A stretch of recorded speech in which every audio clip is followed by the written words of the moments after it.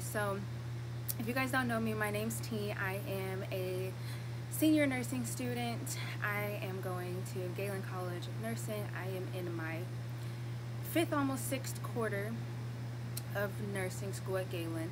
So I am currently in OB and Peds, um, and I just recently got out of med surg and pharmacology. So there's a little backstory about me. So, how you guys holding up? I know, bitch, I know. Anyways. Okay, what you need to know about pharmacology is that you gotta stay afloat. Alright, if you guys are hearing the airplane, it's because I'm outside on my balcony because my toddler does not know how to act. Acting like he ain't got no home training. But anyways, so we are going to be talking about pharmacology and essentially what you need to know is that you got to stay afloat. Are you to be given a ton of information? Absolutely. Are you going to be given that information in a small period of time? Absolutely. But don't worry. I got you.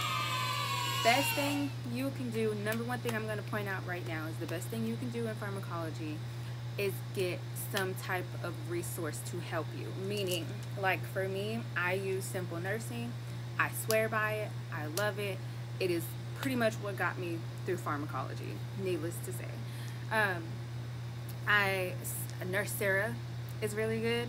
Um, Level Up RN is really good, but I personally swear by Simple Nursing. It has holy grail. Um,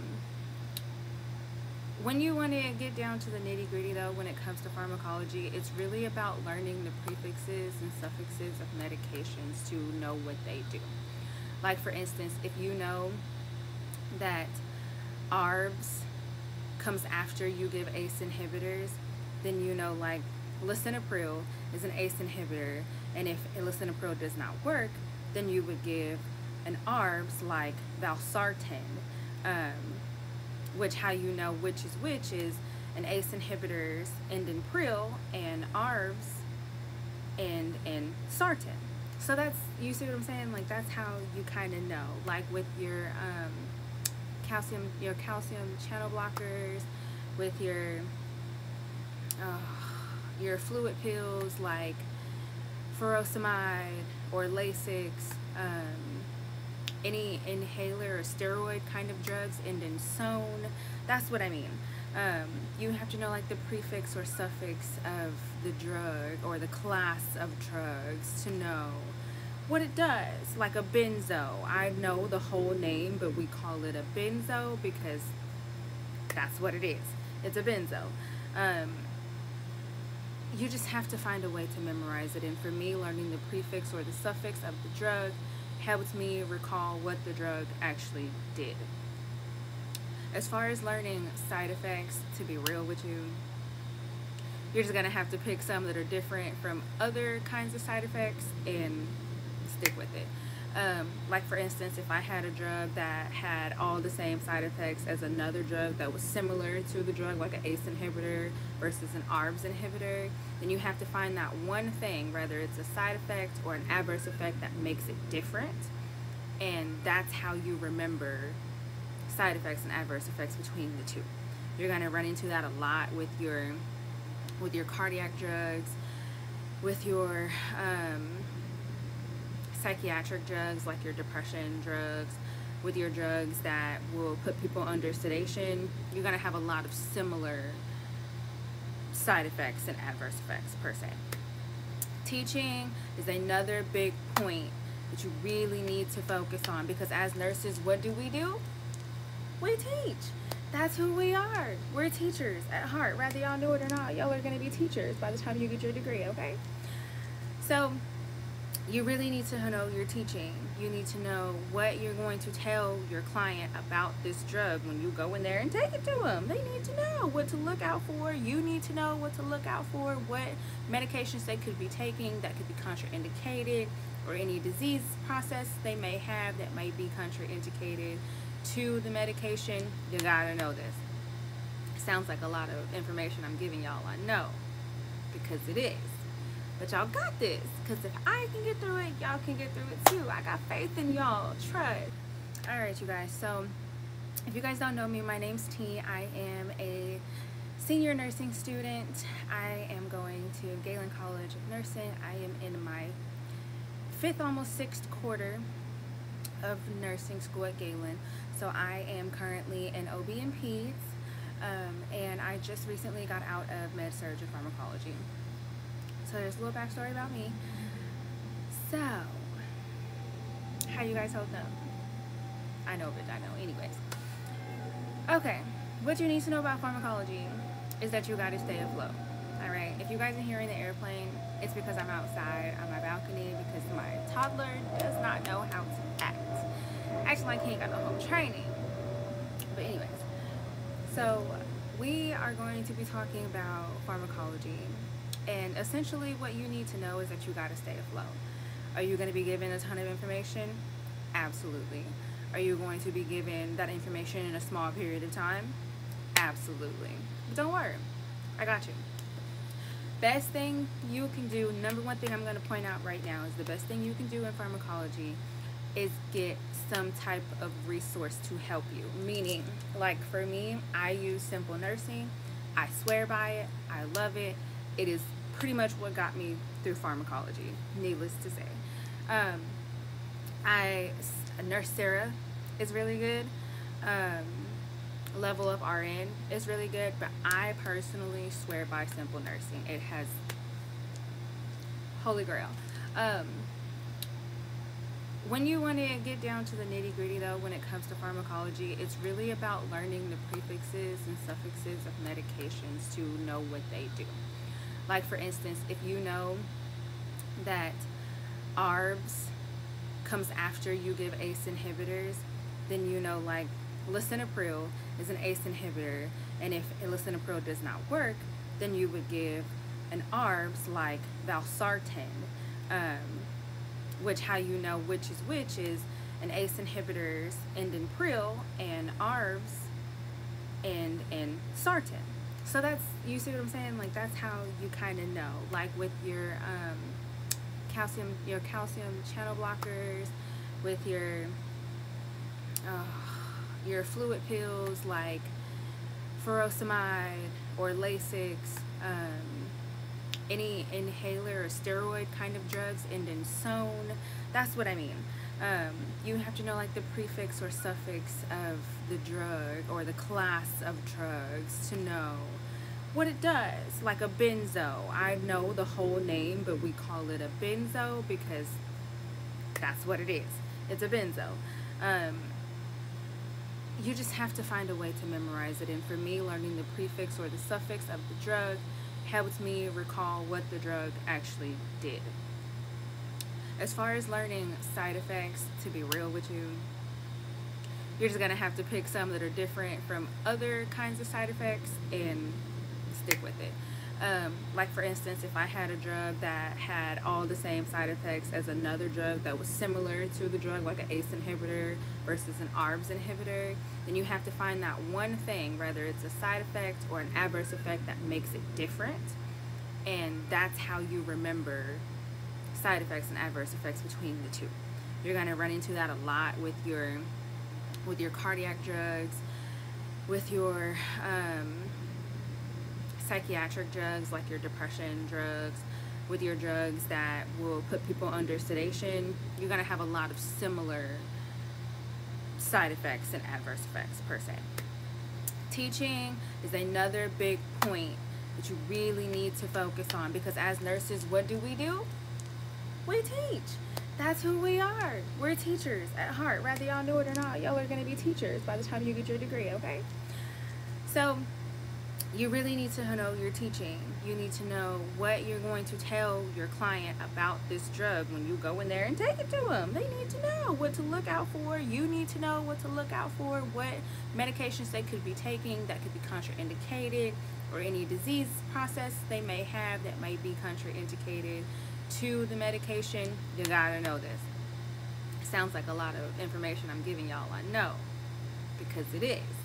But y'all got this. Because if I can get through it, y'all can get through it too. I got faith in y'all. Trust. that is pretty much the gist of pharmacology is study, study, study, study, study, study, study. Find ways to make it make sense. I used a lot of acronyms or funny little gestures to make myself remember certain drugs, um, like warfarin is the slow stroke drug um, for me, and clopidogrel is your platelet drug. Um, let's see, what else did I have? Aspirin was labeled as your baby heart attack drug for me um, because that just reminded me that people will take a baby aspirin. Um, it's a antiplatelet so it thins out the blood. People will take baby aspirins when they are on like they're on watch for pre-hypertension or anything like that. They take a baby aspirin every day to keep their blood a little thinner so they don't develop any type of coagulation problems like PEs or anything like that. That's how I come up with little names to remember these different medications. And you guys can do the same. Whatever make, whatever little trick you guys can think of to help you remember it, that's what I suggest you do, honestly. It's all just a memory game. Um, well, it's not a game, but it's all just memorization. Pharmacology is memorization. You have to know it to get out of that class. You have to know it. And having a good instructor plays a big part too, but we're not gonna get into that. I had a fabulous instructor. We're not we're, we're not we're not gonna talk about that. Um, now we're gonna move on to med surg. Y'all. Med surg is a whole nother beast, okay? That med surg book that they tell y'all to buy, don't buy it. Same thing with the pharmacology book. Unless you just want to read the book, honestly, I don't recommend buying neither one of the books. And I'm going to tell you why. I did not have to use my pharmacology book or my med surg book the entire quarter. I brought it to class for like the first week. No, I lied. Maybe like the first three weeks.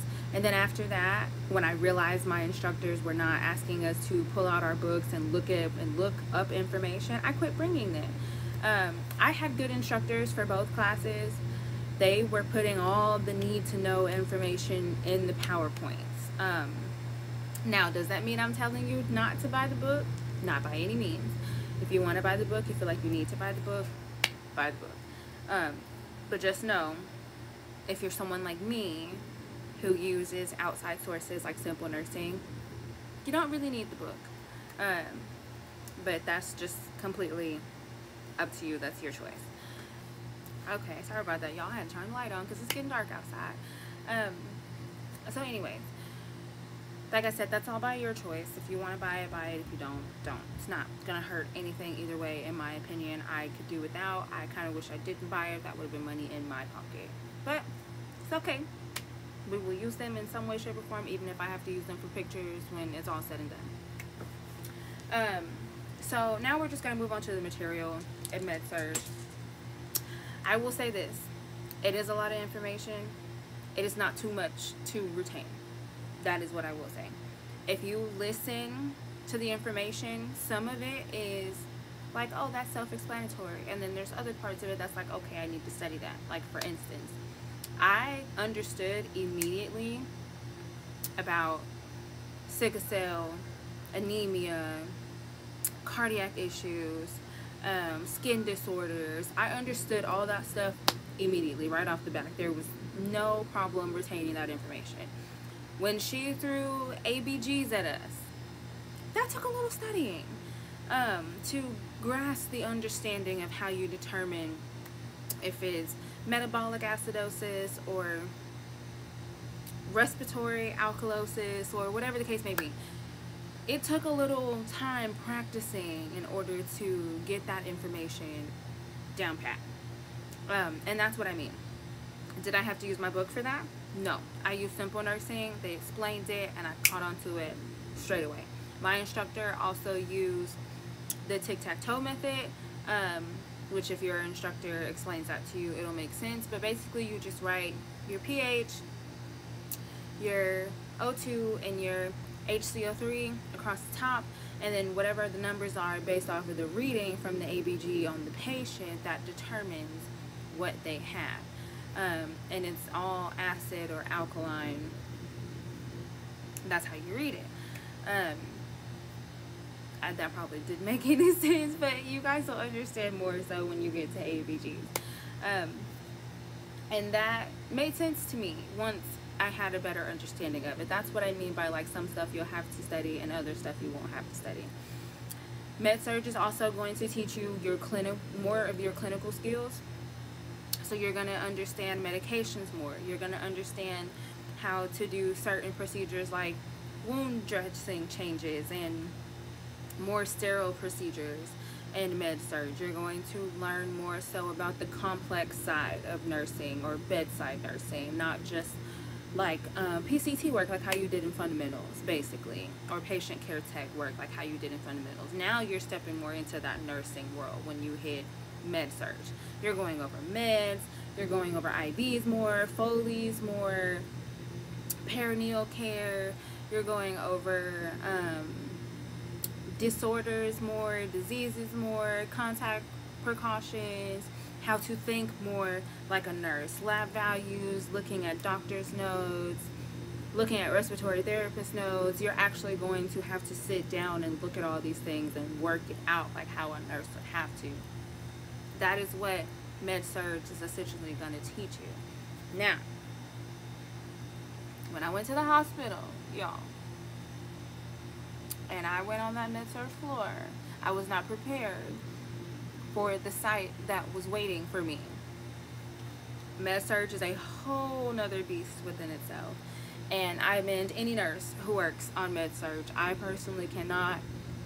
I currently work as a nurse extern in a surgical ICU and I do not know how the nurses, the patient care techs, the LPNs, hell even the doctors work on med-surg.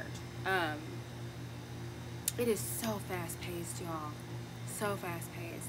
And there's like no breaks. It's like vitals, turn patient, take this one to the bathroom, take this one to ultrasound, take this one to get a CAT scan, bring this one back, go get this one, take this one to lunch, take this one to physical therapy, help this one back in bed, take this one to the bathroom, pass meds, take vitals. Like it's, it is so busy, so, so busy. Um, those girls that work over there are truly a blessing. Nothing less. Nothing less than just angels. Um, so just be prepared for that too. And if you guys want me to do a video on like how clinical normally goes, just let me know in the comment section below. I did see that someone wanted me to do a video on how I got a job as a nurse extern. I will do that video also probably tonight while I have the time away from my little one. But anyway just comment down below if you guys want me to do a video on what clinical is like um, then or what it's like now that I'm in OB and peds. I will definitely give you guys an update on that. Um, but yeah, like I said, another thing that really helped me in both of these classes because there's so much information is having a planner. Um, and you guys know, I've showed you guys my planner before. I have my planner, I plan out everything by the day, and I'm so glad that I started doing that at the beginning of when I started going to school at Galen because that helped me keep the structure that I needed to get through these two classes. Um, you'll get caught up in studying for one class, forgetting that you have an exam the very next week in the other class, and you have not studied for it. Um, that is what this girl did. In the first exam for pharmacology, there was so much information um, that I studied for it, studied for it, studied for it, and forgot to study for med surg. But luckily enough, I understood that information really well, and I didn't have to study as much. I think I left myself with like five days to study for that exam. And by the grace of God, I got an A. But I don't recommend doing that. Do not do that. Um, you have to have time management with these two classes, especially if you take them at the same time, like how I did. You are going to be in for one hell of a ride if you do that. So just make sure you manage your time very well. You take really, really, really good notes, um, which I will insert a clip of how my notes usually look. For anybody who wants to see how I take notes, I'll insert a little clip. And if you guys want me to do a little video on that, I can do that as well. Um, my notes are usually very detailed. And like I said, I use Simple Nursing, which is an outside source that I do pay for monthly um, in order to get a better understanding of all the information that they're giving you in an accelerated program. So that is pretty much it for pharmacology and med surg. Like I said, you guys, it's just a whole bunch of information they're throwing at you. It's two different classes. They're both really difficult classes, but it is doable. It is doable. You're going to have a lot of late nights. You're going to spend a lot of time studying. Don't be surprised if you have big study guides for these classes. One of my exams, you guys, I kid you not, was like 30, 40 pages long. Um, and if it wasn't for simple nursing, I, that just gave me flashbacks, sorry. if it wasn't for simple nursing, I probably would have just given up at that point because it is just a lot of information, it is. Um, but study hard, take the time to make the study guides, Take the time to go over the information. Really dig deep. Give yourself some leniency. Don't forget self-care. That's always important. Always have a day to let your mind relax because you can't retain anything if you don't let your mind and your body relax, y'all. Take time to let your body relax. And you guys got this. I believe in you guys. As always, I love you guys. If you are not subscribed, make sure you subscribe, hit that like button, leave me a comment down below if you want to let me know if anything you guys want me to talk about or discuss more on. We can get into it. I can do a Q&A, whatever you guys want. Just let me know. As always, I will be back with another update on OB and PEDS when I get out of this quarter. And I will see you guys next time. Mwah. Thank you.